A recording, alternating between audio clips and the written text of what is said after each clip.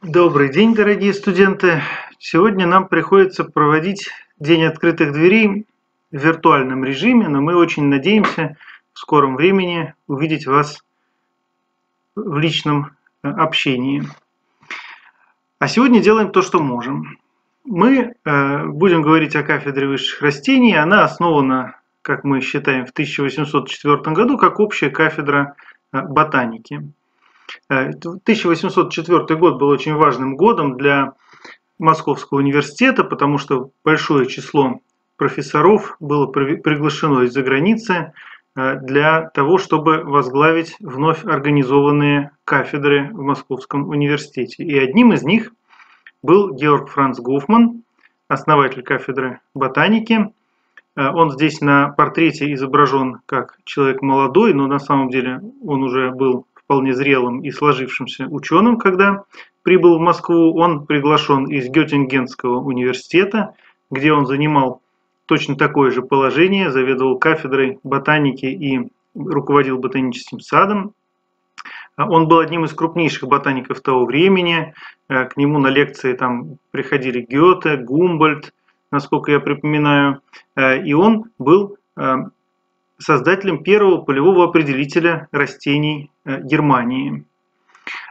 Э, вот такого, как определитель Маевского, по которому вы, по идее, должны были бы на летней практике определять растения.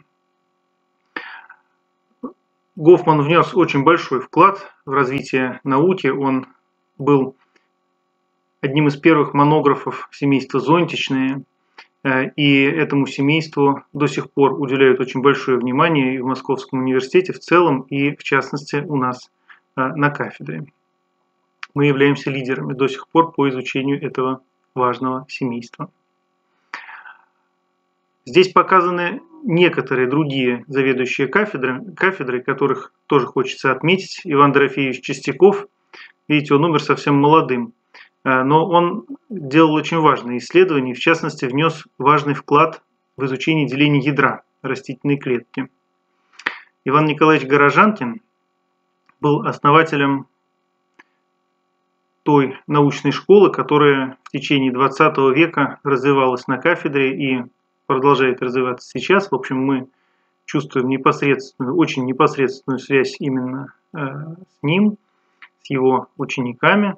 Он один из создателей эмбриологии растений, которая тогда активно развивалась. Он внес большой вклад в изучение эмбриологии э, голосеменных растений, э, и этот вклад, в общем, всеми в мире признается. Константин Игнатьевич Мейер э, долго заведовал кафедрой, очень сложные годы, и был необычайно разносторонним человеком, как и многие другие руководители кафедры. Он был одним из виднейших э, альгологов э, нашей страны, э, выполнил классические исследования по микроскопическим водорослям озера Байкал, но при этом он активно занимался и цветковыми растениями, да и по махообразным у него тоже очень важные были работы, и уже в самом конце жизни он выполнил несколько классических и хорошо цитируемых работ по эмбриологии цветковых растений. Э, Вадим Николаевич Тихомиров был э, очень известным ученым и организатором науки, э, и благодаря его стараниям коллектив кафедры занял лидирующее положение в изучении флоры, в первую очередь центральной России. И он внес очень большой вклад в охрану природы, создание красных книг, он стоял э, у истоков дружины охраны природы Московского университета э, и, в общем, был очень известным человеком. Ну, теперь э, два слова сказав про заведующих, некоторых заведующих кафедрами, кафедрой высших растений и про кое-что про историю кафедры. Теперь мы поговорим про то, чему сейчас учат на кафедре.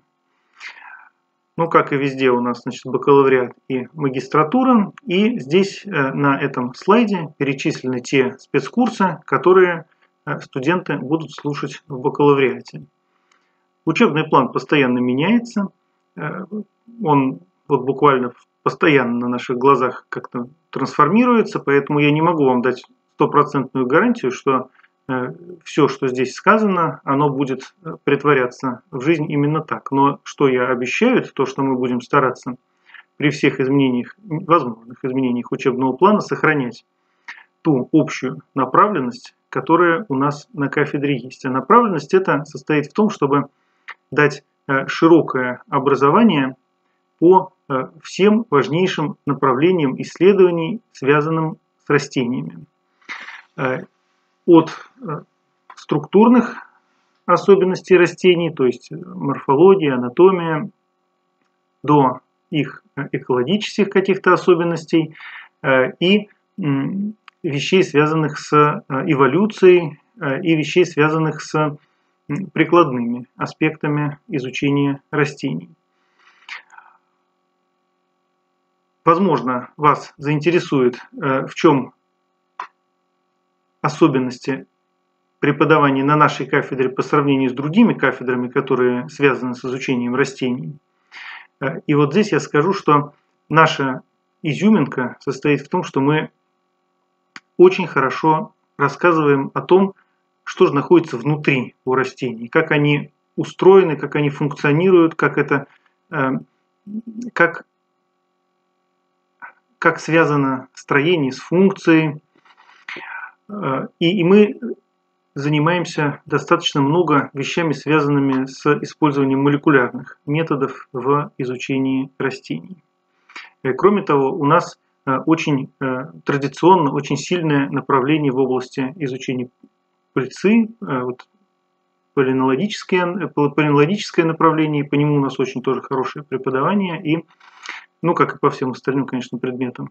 И это вот имеет практические такие вот приложения. Ну вот здесь перечислены эти спецкурсы. Значит, основы микротехники и микроскопии – это то, что дает возможность непосредственно проникнуть вглубь Э, растения, э, и мы считаем это необычайно важным спецкурсом. Морфология и анатомия растений – это наши тоже базовые спецкурсы, которые дают э, основы представлений о ботанике. Они идут в разных, в разных вариантах, и на самом деле они включают несколько спецкурсов. Вот в частности, анатомия растений, она включает базовый лекционный спецкурс, который читает Александр Константинович Симонин, который э, связан именно с пониманием структуры через функцию. И практическая часть, которую ведет Майя Владимировна Нилова, вот в ней два варианта. Один, одна связана с изучением тропических растений, и другая связана с изучением растений умеренной зоны. Также морфология растений, она возможна в варианте, когда больше внимания уделяется таким теоретическим моментам, и другой вариант, когда э, дается возможность познакомиться с особенностями микроклонального размножения растений. Значит, цитоэмбриология растений, собственно, цитология и эмбриология растений, полинология, спорово-пыльцевой анализ, молекулярная ботаника – это большой спецкурс, который тоже имеет основную и вариативную часть, Э, и рассказывает, ну, поскольку это бакалавриат, о всех базовых моментах, связанных с э, использованием молекулярных методов в ботанике. Э, и здесь же и основы колдистического анализа тоже появляются. Математические методы в ботанике очень серьезный специальный наш курс, потому что мы считаем, что того, что дается в общефакультетских курсах, недостаточно для наших конкретных целей. Э, значит, палеоботаника читает э, специалист с геологического факультета. Э, важнейшее семейство цветковых растений, значит, здесь это систематика цветковых растений, микроэволюция или доместикация растений, видите, демография, флористика, антекология, фитогеография. Теперь, конечно же, э, после третьего курса у нас есть э, кафедральная летняя практика. Мы очень серьезно относимся к летней практике и сразу хочу настроить вас на то, что на нашей кафедре э, мы рассчитываем, что те, кто на нее пойдут, реально поедут на эту практику и пройдут эти занятия. Мы относимся к этому серьезно. Надеемся, что у вас есть возможность, ну, возможности по здоровью там, на эти практики и желание главное, самое главное желание на эти практики поехать. Субтропическая э, практика по флоре практика по субтропической флоре, ну и одновременно общей морфологии растений на Кавказе. Ее ведет Александр Сергеевич Зернов, наш ведущий специалист по флоре Кавказа, ведущий в России специалист. Э, практика по репродуктивной биологии растений, э, значит, морфологии вегетативных органов и биоморфологии. Практика по морфологии соцветия, она проходит в ботаническом саду, и мы очень рады, что мы имеем возможность Э, живые коллекции ботанического сада показать студентам одновременно с этой практикой. Ну и мы не забываем также о геоботанике и флористике, и эта э, практика тоже выездная, она проходит в разных э, регионах, в зависимости от того, как сложатся обстоятельства сезона.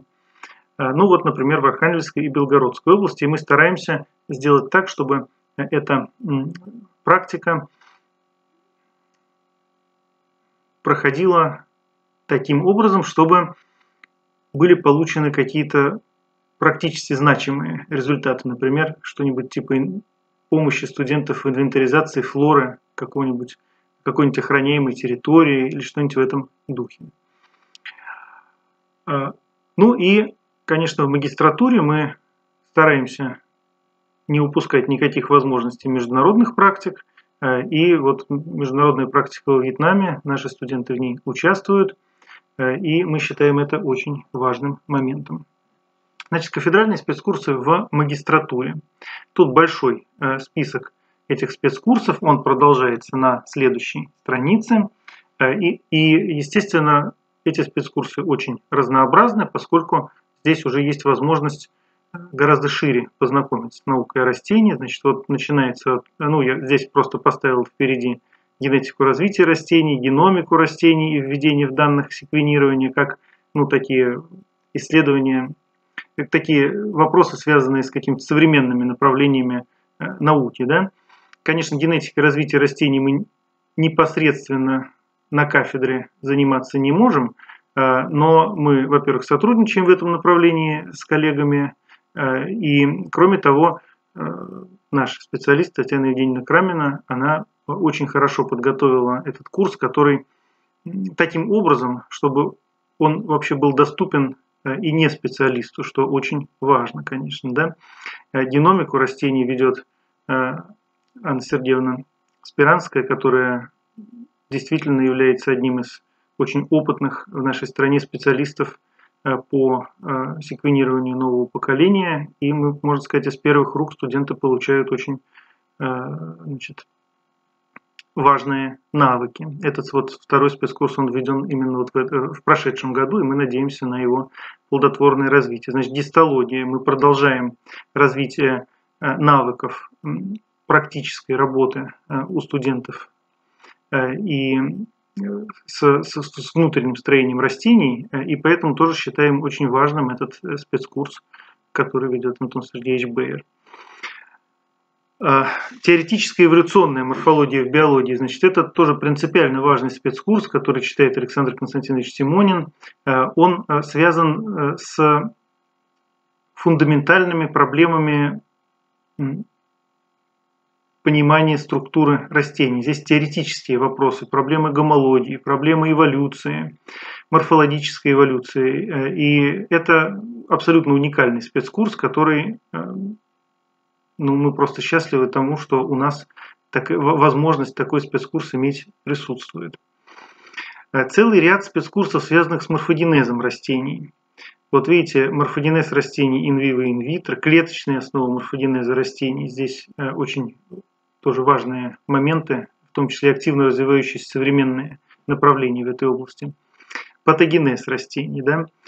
А, что бывает, когда ненормальные процессы морфогенеза реализуются, а какие-то необычные, да, связанные с патологией. Да? Карпология, наука о плодах, васкулатура и морфогенез цветка, экологическая анатомия растений, диагностика растений, растительных объектов. Это очень важные практические навыки э, дает, значит, э, и есть особый вот раздел, связанный с торфяным анализом, анализом э, того, что тех остатков, которые есть в торфе, что очень важно для исторических реконструкций в ботанике, да и вообще в биологии.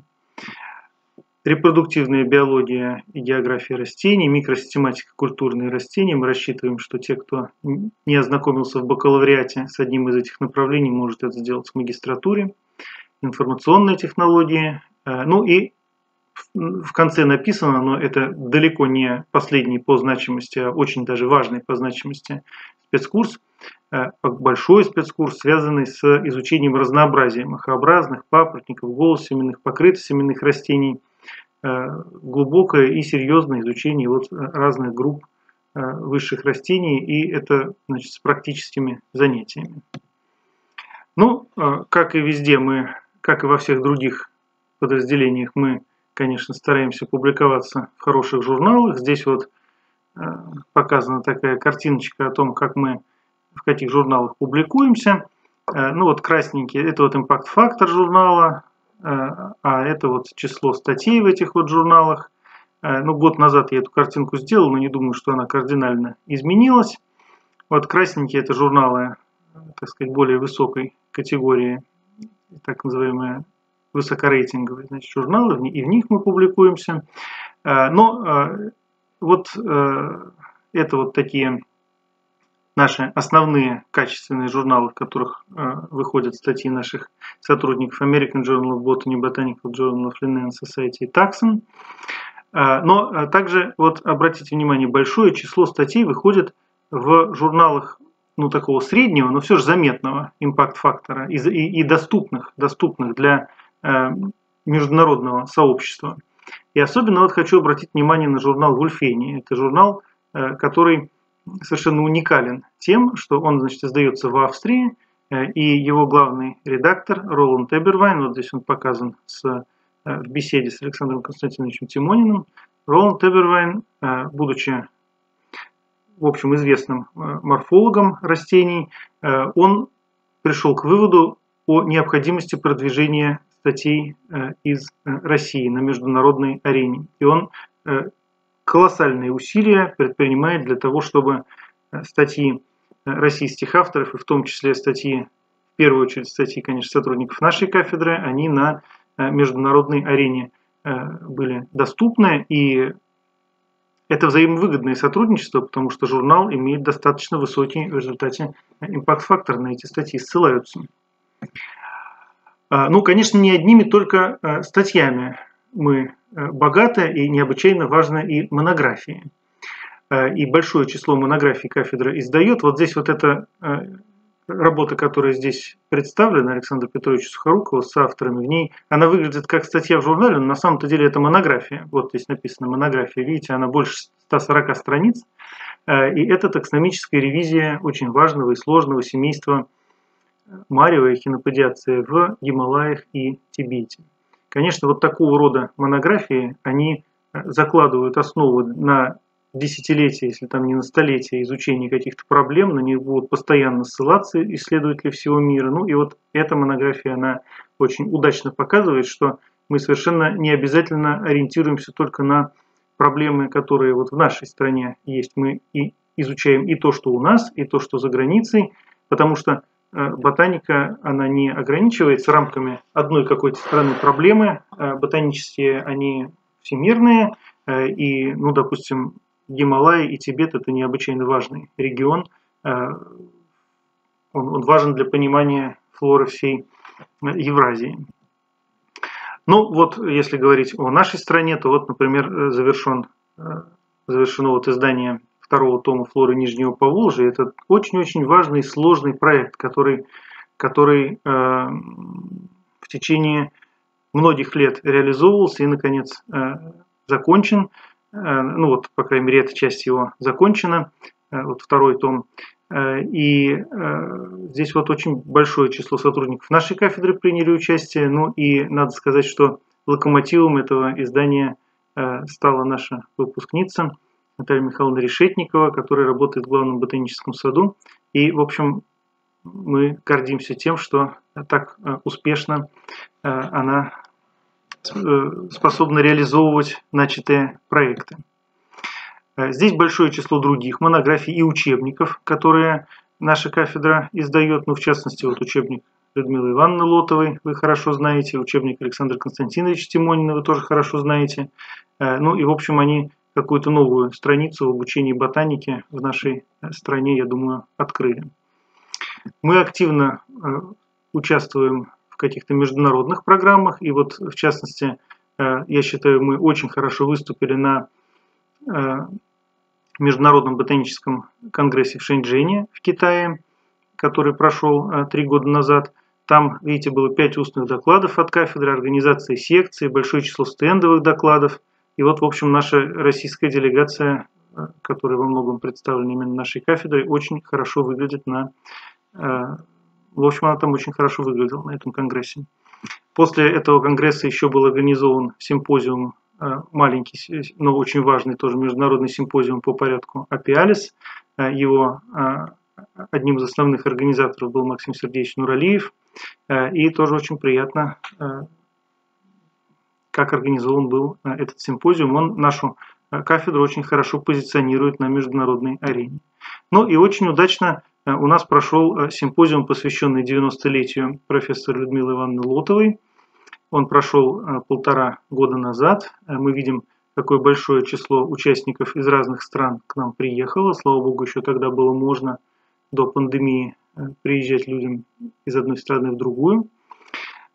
И вот приехали очень известные такие первостатейные классики, можно сказать, из разных стран. Вот тут коллега из Америки и коллега из Великобритании показаны. А, вот в Звенигороде они побывали на экскурсии, посмотрели наш магазин, как он выглядит. А, и, конечно, болото Сима им очень понравилось. А, ну и результатом этой э, конференции стал специальный выпуск международного журнала, ботанического журнала Линеевского общества. Это один из высокорейтинговых журналов по нашей проблематике. Э, вот там специальный выпуск, посвященный памяти Людмилы Ивановны Лотовой, э, и в котором статьи э, ученых из разных стран собраны, и в марте этого года он уже окончательно выйдет. А вот это вот, ну на самом деле все статьи уже опубликованы на сайте, их осталось собрать только в один, в один выпуск. Это, я считаю, удачное тоже позиционирование нашей кафедры на международной арене. Ну, то, что мы хорошо работаем, оно отражается в различных наградах и премиях. К сожалению, не могу все э, зачитывать. Э, то, что здесь э, сказано, ну вот последнее достижение, могу сказать, что Александр Сергеевич Зернов получил премию имени Комарова Российской Академии Наук за многолетние работы по флоре Северного Кавказа и медали Российской Академии Наук с премиями для молодых ученых. Вот получили Максим Сергеевич Нуралиев и Э, Николай Александрович Веслобуков за изучение флоры Вьетнама. Довольно много у нас разных э, грантов, э, тоже не буду все здесь перечислять, но, в общем, стараемся и грантовое финансирование получаем. Особенно приятно, что аспиранты тоже смогли получить поддержку для своих работ в, после, вот, в 2020 году. Ну, теперь кое-какие направления наших э, исследований я э, озвучу, и какие-то исследования, какие-то работы, которые там делаются, э, отдельные, достаточно тенденциозно выбранные, ну, потому что невозможно объективно охватить все, что делается на кафедре, какие-то, то, что привлекло мое внимание, я укажу, а дальше, конечно, можно смотреть гораздо более широко. Значит, по анатомии растений большое число исследований идет – Э, и это наше классическое такое направление, но очень важно его сохранять, потому что это то, в чем мы э, позиционируемся как сильные на российской и мировой арене. То, за что нас уважают, за то, что мы сохраняем э, хорошие знания этого направления. Как важно знать и понимать устройство растений, можно сделать вывод вот из этой работы. Александра Константиновича Тимонина, она такой теоретический характер носит, э, но в ней пересматривается, пересматриваются, в общем, общепринятые сейчас представления о том, э, как же э, работает мезофил растений с С3 фотосинтезом, то есть самый банальный обычный мезофил с столбчатыми губ, со столбчатой и губчатой частями, да, как он работает как оптическая система. Вот здесь э, есть там, теоретические представления, которые используют э, специалисты по физиологии растений, некоторые, не говорю все, но некоторые вот активно используют, и как это в реальности происходит. И показано, что те теоретические модели, которые используются, в частности, в экспериментальных исследованиях, они просто не могут быть правильными э, и нуждаются в самом решительном пересмотре. Анатомия растений необычайно широка, ее можно очень по-разному, так сказать, повернуть, э, и в частности она необычайно важна для поиска признаков, которые бы охарактеризовали группы, выделенные с помощью молекулярных данных. Вот не секрет, что молекулярные данные позволяют строить очень хорошо обоснованные филогенетические деревья, но те группы, которые выявляются на этих деревьях, а они зачастую не имеют какого-то ясного немолекулярного, не какой-то ясной немолекулярной интерпретации. Ну, понятно, что таких ситуаций гораздо больше, скажем, допустим, в микологии, где огромное количество групп э, никак морфологически не характеризованы, но они появляются и, конечно, регулярно и у растений, э, и выявляются такие ситуации, которые можно описать как криптические виды, виды, которые вроде бы они существуют, но внешне как-то без молекулярных исследований их установить не удается. Да? Э, но во многих случаях те группы, которые кажутся криптическими, то есть не имеющие ясного какого-то морфологического или анатомического наполнения, они только кажутся таковыми, и при более детальном исследовании удается обнаружить э, признаки, которые их характеризуют. И вот анатомия как раз зачастую очень сильно в этом помогает. Вот э, это исследование нашей студентки э, Даяны Жирновой, это ее курсовая работа опубликована в этой статье. Э, она связана с изучением африканских растений. Э, частично материал собран в ходе ее полевых исследований в Южноафриканской республике.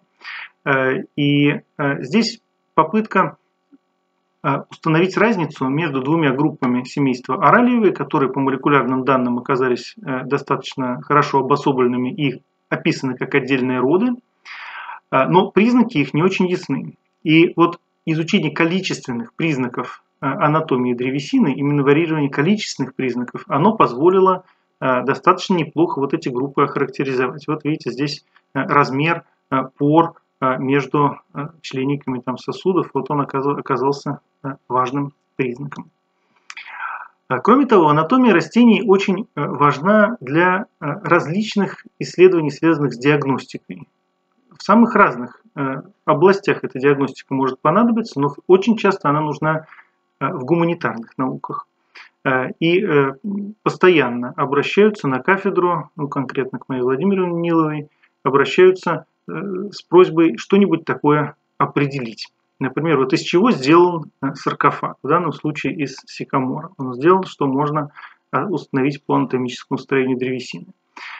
Вот в чем необычайная важность таких вот экспертных работ. А экспертные работы могут самый разный характер носить. Они могут связаны быть и с криминалистикой, а не только с, э, с такими фундаментальными исследованиями. Тут очень важно иметь широкий кругозор и огромный опыт. Это то, чего накапливается только в ходе многолетней работы. Да? И то, что может только быть передано из рук в руки.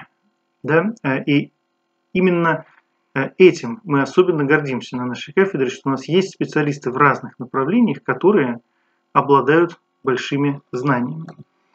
Ну вот, смотрите, это икона, да, э, основа этой иконы сделана из липы, а шпонки, видите, сделаны из ели. И, конечно, анатомические исследования очень четко позволяют все это определить. Вот сейчас проект, который меня очень просто воодушевляет и в котором будет принимать, я надеюсь, участие студентка нашей кафедры.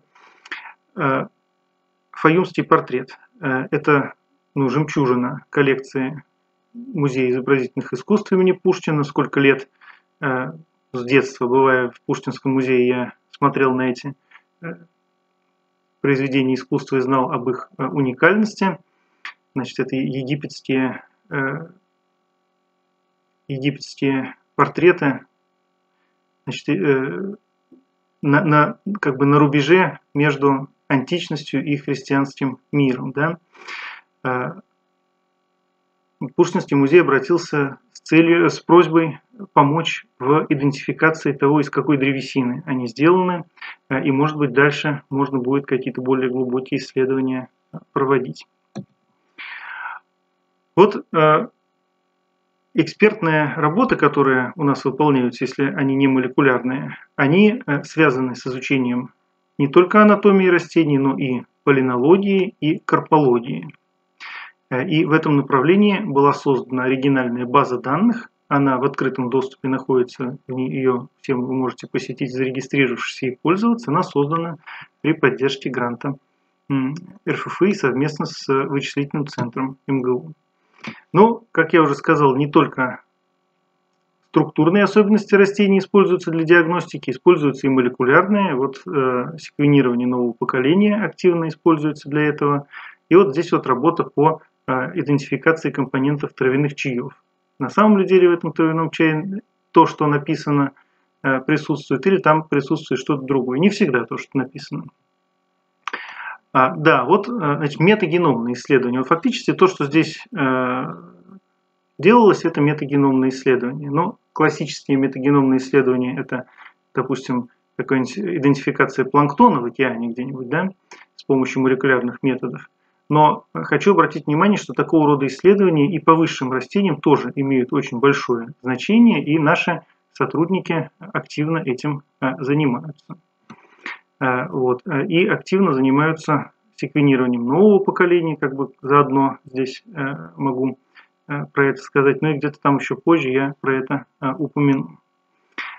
А мы активно занимаемся сравнительной эволюционной морфологией растений и, в частности, морфологией и развитием цветков в различных группах покрытосеменных растений. Вот эти вот картинки, они раскрашены искусственно, но это раскрашивание – это часть нашей работы, интерпретативная. Здесь вот, в частности, студенты на практикуме раскрасили вот эти вот э, картинки, которые последние были. Ну вот один из примеров работ по эволюционной морфологии цветка.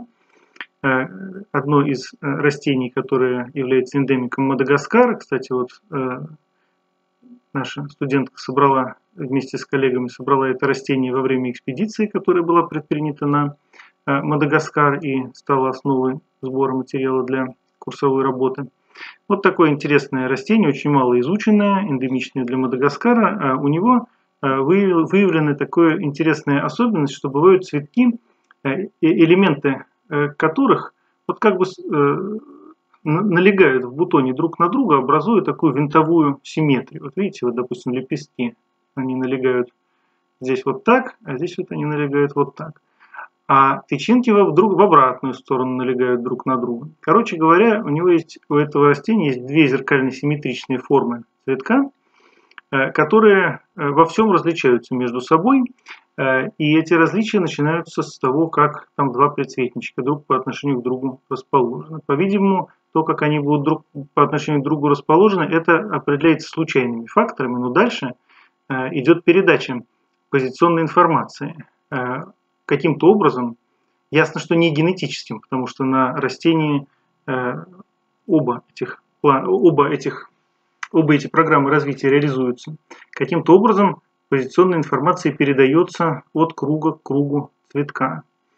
Э, и это очень интересный, вообще очень интересная задача изучения морфогенеза растений, как передается позиционная информация. Вот этим тоже мы пытаемся заниматься. Ну так вот, интересно, что э, вот такие вот растения с винтовой симметрии цветка, они встречаются в разных группах цветковых растений, это филогенетическое дерево цветковых растений, но в одних группах чаще встречаются такие, где у каждого экземпляра растения оба варианта, а вот в другой группе растений больше те, где в пределах вида это стабильно. И там как раз могут именно генетические факторы участвовать в э, определении типа скручивания вот этого цветка. Но вот здесь видно, что тот э, объект, который изучали мы, из Мадагаскара, он очень сильно э, расширяет представление о распространении вот, вот этого вот типа варьирования симметрии цветка.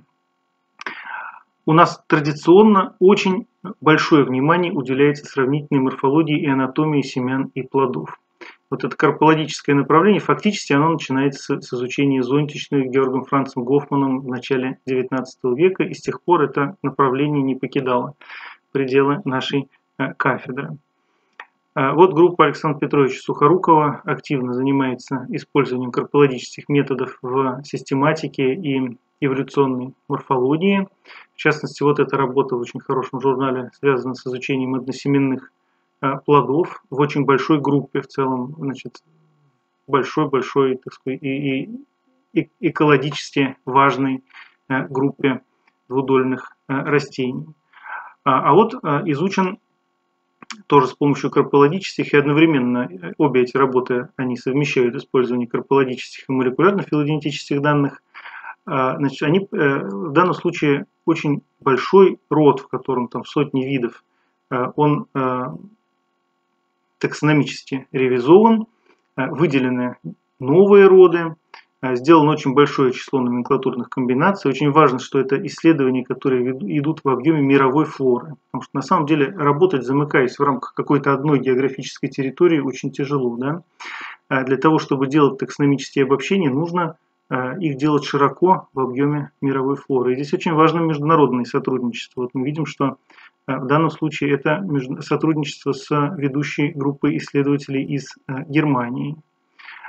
Э, и тоже хочу обратить внимание, что это, в общем, бакалаврская работа студента Максима Заики, которая опубликована, вот эти 85 страниц, работа, но не только одним числом страниц определяется ее качество, но и, и самим, собственно, качеством.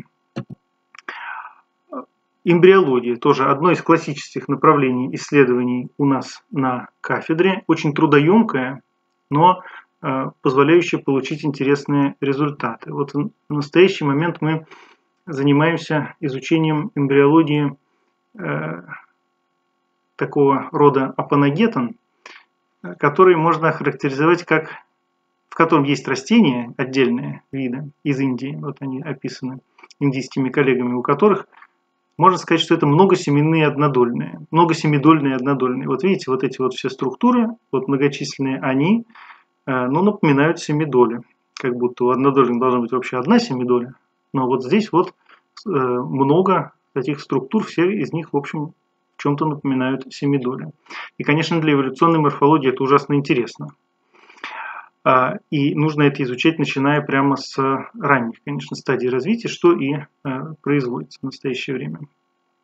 А одновременно с этим бывают и так называемые односемидольные двудольные, то есть это растения таксономически двудольные, но у них э, вот одна семидоля. И э, здесь вот в, раз, в разных группах цветковых растений такое бывает, в частности в семействе э, зонтичные, такое довольно широко распространено. И вот в сотрудничестве с коллегами из ботанического сада выполнена работа, широкий такой обзор по встречаемости односемидольных, двудольных растений у, э, в семействе зонтичные. Тут ведь еще очень важно не просто это описать, э, поставить галочку, что вот ну, признак числа семидолей не так четко разделяет однодольные и двудольные, как вы думали. Это не самое интересное. Самое интересное понять, какие закономерности морфогенеза приводят к тому, что появляются такие необычные структуры. И еще важнее понять, а зачем это нужно?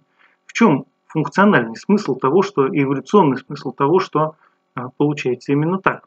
И вот над этим мы тоже пытаемся работать.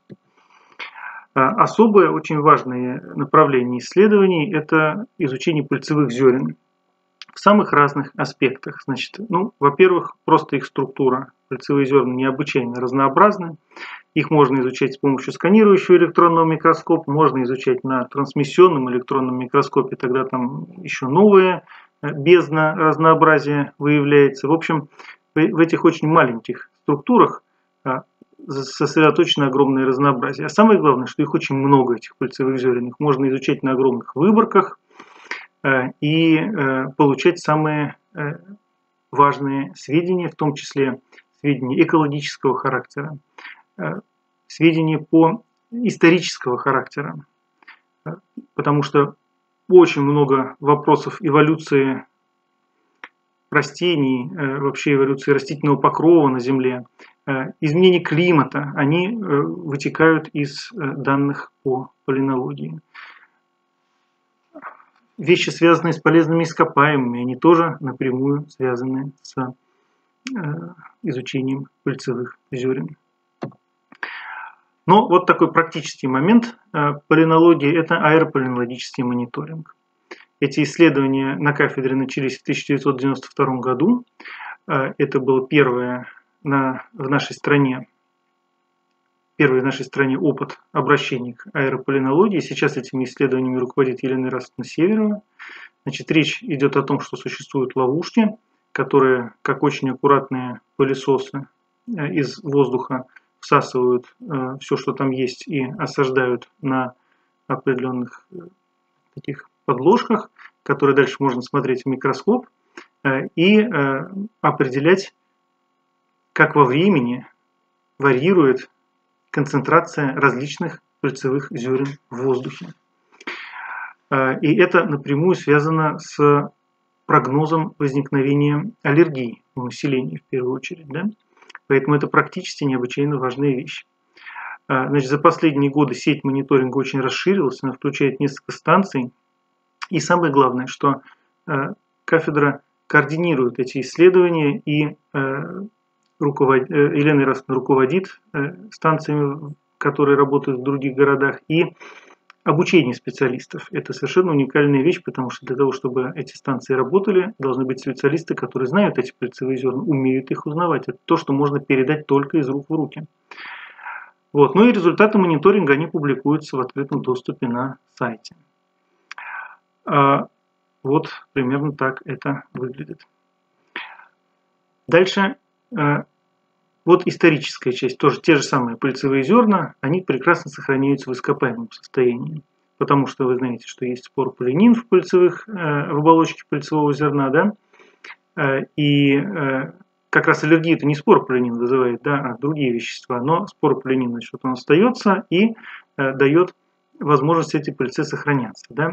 И мы можем по споропыльцевым спектрам реконструировать растительность прошлого. Но для того, чтобы ее реконструировать, надо понять, в каком отношении находится современная растительность к э, тому, какой получается э, споропыльцевый спектр, потому что не все растения, пыльца не всех растений одинаково хорошо сохраняется. А, и пыльцевая продукция разных растений тоже разная, поэтому ставятся ловушки для так, такие вот, которые целый год стоят, для пыльцы, которые, для пыльцового дождя, который туда попадает в течение года, э, и сравнивают это с описанием растительности. Это вот метод современных э, аналогов. Да? То есть э, сравнивают растительность современную с пыльцевыми, с пыльцевыми спектрами современными, и это дает возможность интерпретировать пыльцевые спектры прошлого и подходить к анализу изменений растительности и климата на Земле. Ну, вот еще одна связь между полинологией и изменением климата. Вот исследование, в котором приняло, приняли участие тоже данные из нашей лаборатории, э, и вот Елена Ирастовна тоже соавтор этой работы в журнале Lancet. Это очень один из ведущих вообще журналов в мире, наряду с Nature и Science. Э, и здесь вот э, связано, здесь вот вопрос о том, как изменение климата, глобальное изменение климата влияет на Э, фактически на здоровье человека благодаря изменению и увеличению продолжительности периода пыления аллергенов. Ну, в общем, работы по аэрополинологии очень востребованы, они выходят в журналах с очень хорошими импакт-факторами, и это замечательные направления для международного сотрудничества. Вот в области полинологии получен э, грант по, специальной, по специальному направлению Российского фонда фундаментальных исследований по изучению микромира, он э, связан с идентификацией э, и количественным анализом пыльцевых зерен э, в воздухе с помощью ДНК-штрих-кодирования. В чем проблема?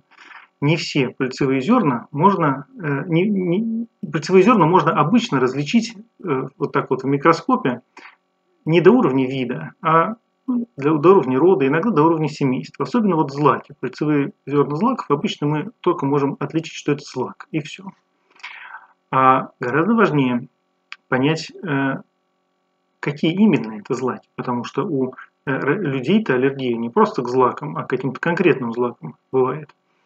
Э, и поэтому на базе секвенирования самого-самого современного поколения, предлагается пытаться проводить ДНК-штрих-кодирование, то есть ту же самую метагеномику от пыльцы в воздухе. Это очень технологически очень сложное направление, такое передовое, которым сейчас вот у нас на кафедре занимаются. Благодаря тому, что у нас есть ведущий специалист в области полинологии, э, вот аэрополинологии в России, э, и у нас есть очень э, высокого уровня специалисты в области геномики и метагеномики в том числе. Конечно, огромное значение имеет дополнительное образование по курсу полинологии, особенно те организации, которые интересуются экспертизой, криминалистикой, они очень заинтересованы в дополнительном образовании по полинологии. Большие исследования идут у нас в область систематики э, растений, микроэволюции. Тут трудно все разделить, потому что вот работы, о которых я рассказывал там в связи с карпологией, они тоже, конечно, напрямую связаны с систематикой, так искусственно я э, разделил эти э, работы, но, конечно, это все вместе идет и используются в настоящее время методы молекулярной филогенетики и филогеографии методы активно используются для изучения географического распространения разных э, процесса географического распространения разных групп. Работы по гибридизации, природной гибридизации активно проводятся по изучению ее, потому что растение она широко распространена.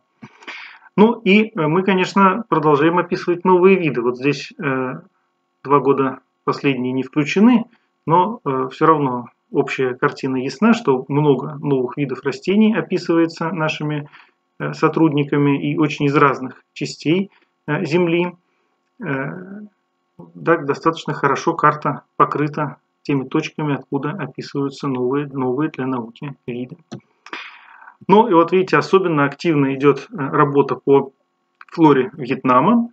Здесь видно, как широко покрыт Вьетнам точками, где работают наши сотрудники. Э, и видите, 6 э, сотрудников и 5 студентов во Вьетнаме э, работали и продолжают в том или ином виде работать. Видите, два наших сотрудника, Максим Сергеевич и Александрович, получили медали Российской Академии Наук для молодых ученых именно за работы по флоре Вьетнама. Это очень престижная награда. И опубликовано просто колоссальное количество статей, описано очень много новых видов из Вьетнама. Э, и э, здесь еще последний год не учтен, за который тоже очень-очень много статей вышло, наверное, больше 15. Э, ну вот просто пример того, как важно изучать и описывать эти самые новые виды. Вот, например, аспидистра, такое растение, довольно обычное растение в комнатной культуре. Вот смотрите, до 98 года считалось, что 11 видов вообще вроде аспидистра в мире, а сейчас их около 180 видов описаны. То есть огромное количество новых видов описывается постоянно. И они очень разные. Вот видите, какие разные у них цветки. А, и очень важно понять не просто их описать, эти виды, а понять, в чем функциональный смысл этих а, различий. А, и вот, например, была точка зрения, что некоторые из этих цветков опыляются ракообразными. Да? вот такой вот, да, конечно, эта точка зрения неверной оказалась, но все равно интересно, как, как сама как точка зрения, да. Аспидистры Вьетнама. Вот посмотрите, до 2004 года было известно два вида аспидистров в Вьетнаме. Сейчас больше 60 видов. Большинство это эндемики, известные только там из одной точки.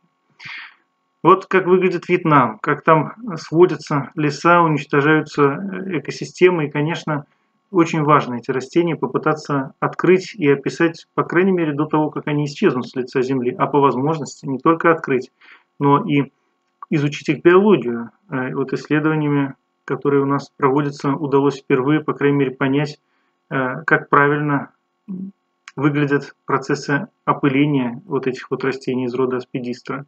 В сотрудничестве с энтомологами, поскольку это делается, выяснено, какие насекомые их опыляют. Ясно, что это тоже не описанные насекомые. А проведенный генетический там баркодинг, новый способ вот опыления а, описан. Ну и, в общем, э, новые эти виды аспидистра, они продолжают описываться и радуют своим огромным разнообразием. Особое направление исследований связано с микодетеротрофными растениями, то есть теми, которые паразитируют на грибах. Они у нас в Подмосковье тоже есть, но в тропиках они гораздо более разнообразны.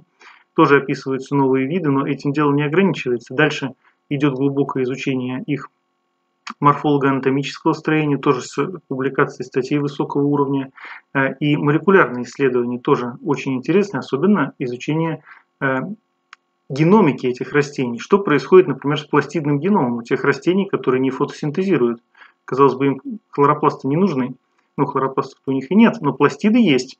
Э, и геном этих пластид есть. Он очень сильно отличается от обычного генома. В нем исчез, исчезли многие гены, но Эм, чисто теоретическое огромное значение имеет э, понимание того, как преобразуется этот геном при утрате фотосинтеза, и этим э, занимаются, ну вот наша студентка сейчас этим занимается, э, в сотрудничестве с Марией Дмитриевной Логачевой, которая работает в Сколтехе и на факультете биоинформатики и биоинженерии Московского университета.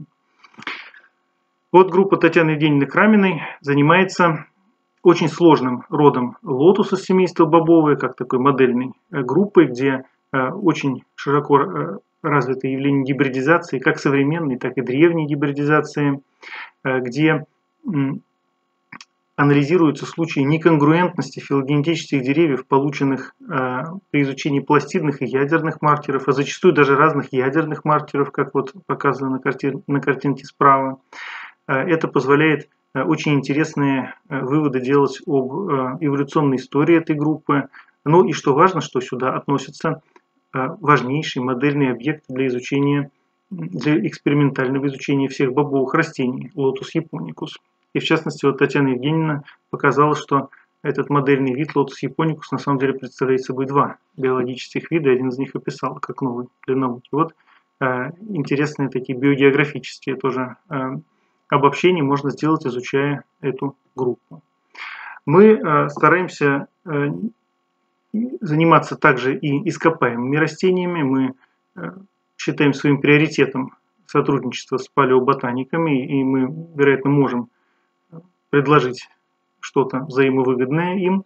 В частности, вот работа по изучению цветка из янтаря.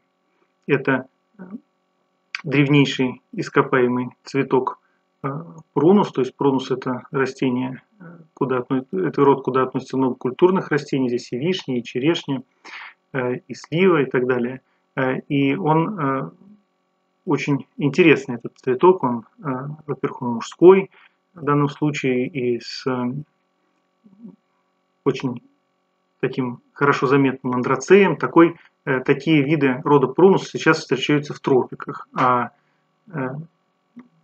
это растение э, найдено в высоких, более гораздо высоких э, широтах, вот на Украине в данном случае.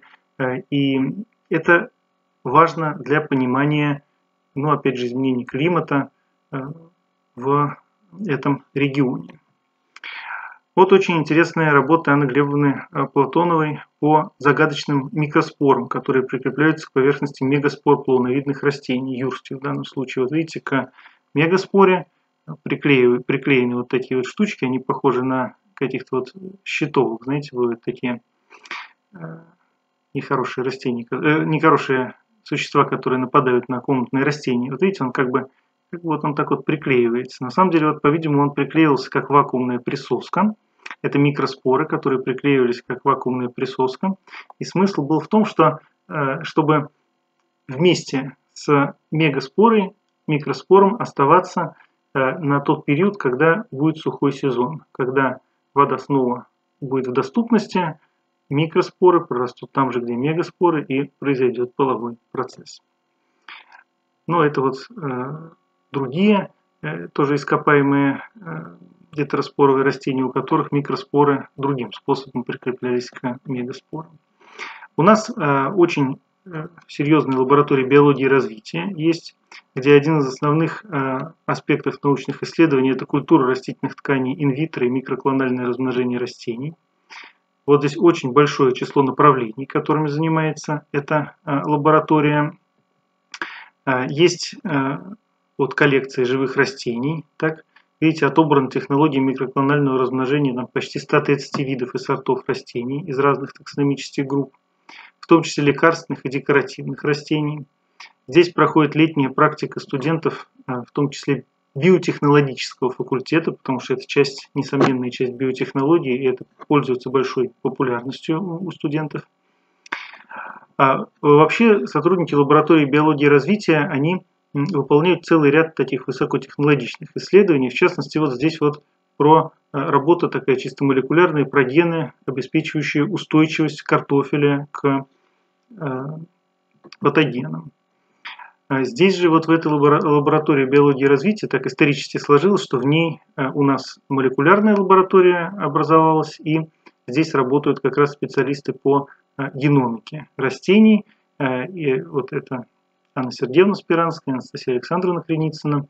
Вот здесь, значит, исследования по пластидным геномам, в данном случае папоротников и луков. Вот у них идут вот эти вот темы, э, и получены интересные результаты. Значит, э, в частности, вот видите, здесь у одного из видов лука там одно из, одни из таких важных генов исчезли в э, пластидном геноме. В принципе, они время от времени, эти гены исчезают у представителей разных э, групп цветковых растений, и это может какое-то там экологическое значение иметь, поэтому здесь интересные приложения вот экологического плана, они у этих работ по геномике существуют.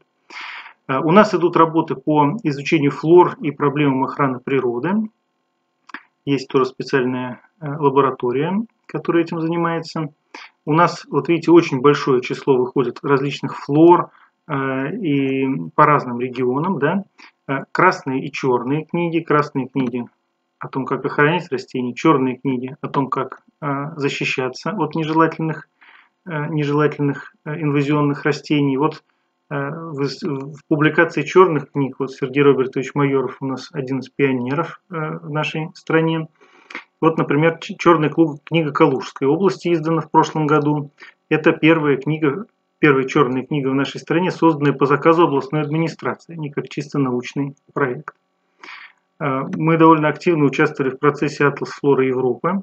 Это международный проект, где картируется распространение всех видов растений Э, на территории Европы. Здесь вот эта суммарная карта выполнения этого проекта, э, она показывает, сколько видов находится на какой э, территории. Вот мы здесь видим, что окрестности значит, Москвы, они более богаты видами, чем то, что вокруг нее находится. Это, конечно, связано не с какими-то климатическими условиями, а с тем, что просто в окрестностях Москвы более активно изучали флору и во многом благодаря исследованиям именно сотрудников нашей кафедры. Ну вот пример интересной флористической находки. Вот растение, которое трудно заподозрить в том, чтобы оно было инвазионным. Такой красивый весенний цветочек. Вот видите, вот это его точки э, ранее известная, и вот э, точка, найденная в калужских засеках. Возможно, это результат распространения на дальние расстояния, но может быть связь с изменениями климата здесь какая-то есть, но э, человек ли был причиной этого распространения, очень не факт, что это так.